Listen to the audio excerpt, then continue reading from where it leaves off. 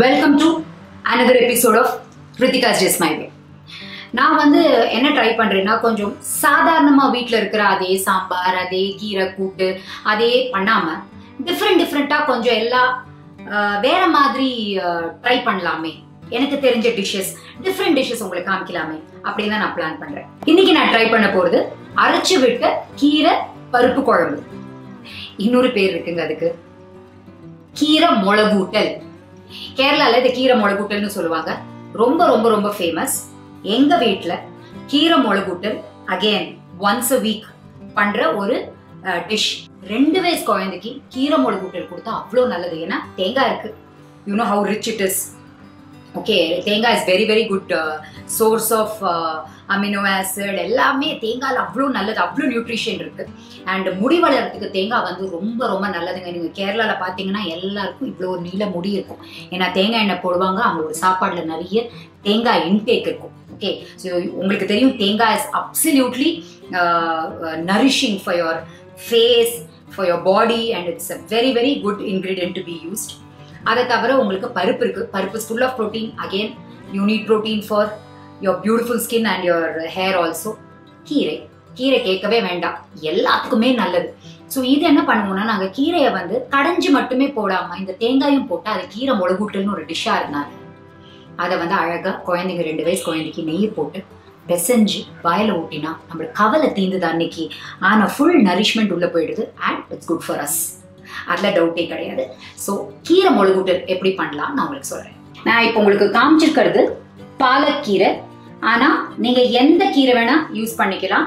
சிறுகீரை அரைக்கீரை எதா இருந்தாலும் நீங்க இந்த கீரை முளகுட்டலுக்கு நீங்க யூஸ் பண்ணிக்கலாம். இப்போ நான் என்ன பண்ணிருக்கேன்னா இந்த கீரையை பொறுத்த வரைக்கும் வந்து எங்க அப்பா ஒன்று சொல்லி கொடுத்துருக்காரு. இந்த கீரையை you should keep washing it ஒரு தடவை வாஷ் பண்ணிட்டு தண்ணி போட்டு வச்சுருங்க. அதுக்கப்புறமா இன்னொரு தடவை வாஷ் பண்ணு. அப்பா வாஷ் பண்ணியாச்சுன்னு நினைச்சு முடிப்பீங்கல்ல? அப்போ இன்னொரு தடவை வாஷ் பண்ணுங்க.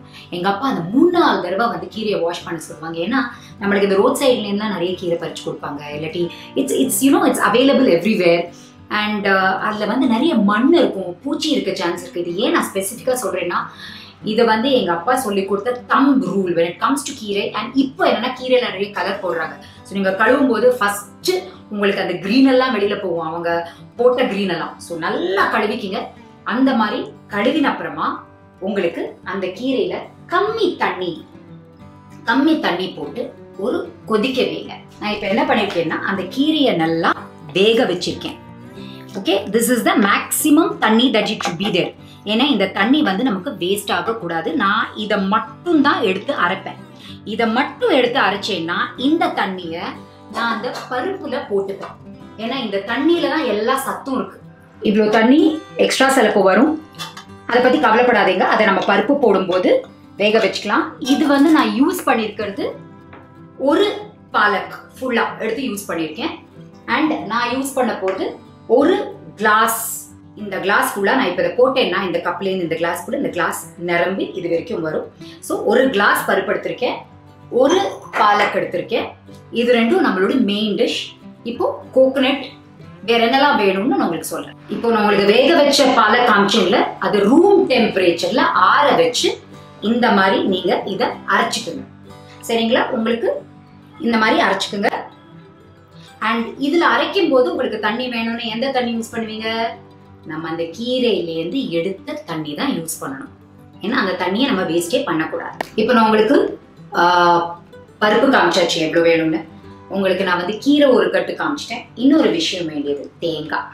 இந்த தேங்காய் வந்து ஒரு கட்டு நீங்கள் வந்து போடுறீங்கன்னா இவ்வளோதான் வேணும். இது எப்படின்னா ஒரு ரெண்டு பத்து தேங்காய்னு சொல்லுவோம் தெரியுமா? அந்த மாதிரி பார்த்துக்கோங்க. ஒரு கைப்பிடி தேங்காய். சரிங்களா? ஒரு கைப்பிடி தேங்காய். இந்த தேங்காய் வந்து உங்களோட இஷ்டம் போல கொஞ்சம் கொஞ்சம் இப்படி மாத்திக்கலாம். ஆனா மினிமம் ஒரு கைப்பிடி வேணும். அதுல ஒரு ரெண்டு மூணு எக்ஸ்ட்ராவோ இப்படி எல்லாம் ஆச்சுன்னா பரவாயில்ல. எனக்கு கொஞ்சம் ரிச்சா தேங்காவோட ஃப்ளேவர் ரொம்ப பிடிக்கும். அதனால நான் வந்து ஒரு ரெண்டு மூணு பத்து எக்ஸ்ட்ரா போட்டுக்கிறேன். இது ப்ளஸ் ஜீரகம். ஜீரகம் இந்த தேங்காயில் நான் போட்டுக்கிறேன். அண்ட் அடுத்த இன்கிரீடியன்ட் செவந்த மிளகா. ரெண்டு மூணு செவந்த மிளகா நான் போட்டுட்டு இருக்கேன் இது வந்து ஹாஃப் ஸோ ரெண்டு மூணு செவந்த மிளகா போட்டுட்ருக்கேன். இது அரைக்க என்ன தண்ணி யூஸ் பண்ணோம்? நான் எடுத்து வச்ச இந்த தண்ணி. வேஸ்டே பண்ணாதீங்க.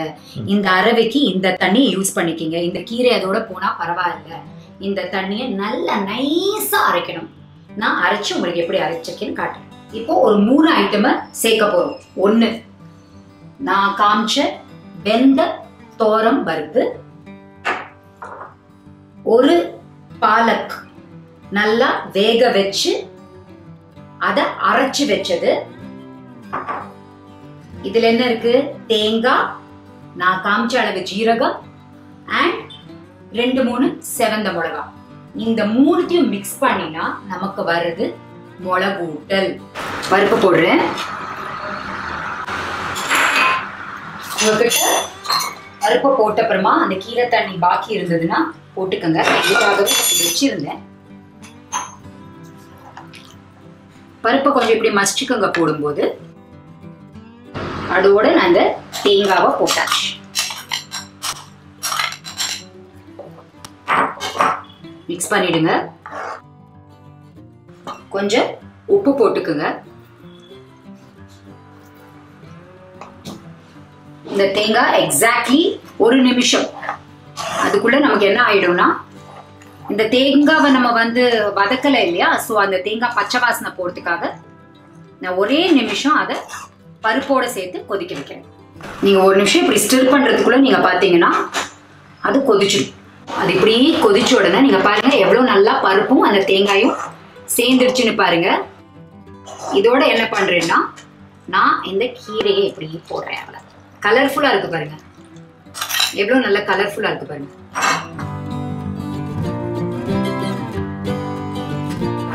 கேன் யூ பிலீவ் உங்கள் கீரை முழுகூட்டல் ஆயிடுச்சு. அவ்வளோதாங்க கீரை முழுகூட்டல். இந்த மூணுத்தையும் மிக்ஸ் பண்ணோன்னே கீரை முழுகூட்டல் ஆயிடுச்சு. இப்போ நமக்கு வேண்டியது ஒரு தாளிப்பு. அவ்வளோதான் தாளிச்சு நான் இப்போ இதை கொதிக்கும் போது இந்த சைடில் தாளிச்சு உள்ளே போட்டேன்னா குட் டு கோ கீரை முழுகூட்டல் எக்ஸலண்டா இருக்கும். தேங்காய் எண்ணெய் போட்டுக்கலாம் நல்லெண்ணெய் போட்டுக்கலாம் சன்ஃப்ளவர் போட்டுக்கலாம். எண்ணெய் சுட்டப்புறமா கடுகு.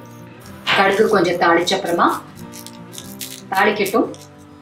உளுத்தம்பருப்பு கருகிடும். இப்போ உளுத்தம்பருப்பு போடுங்க. செவந்த மிளகா. கொஞ்சம் கருவேப்பிலை. இது கொஞ்சம் தண்ணியாக இருந்த மாதிரி இருந்தது இல்லையா? இப்போ அது கெட்டியாயிடுச்சு. இப்போ நம்ம தாளிச்சதை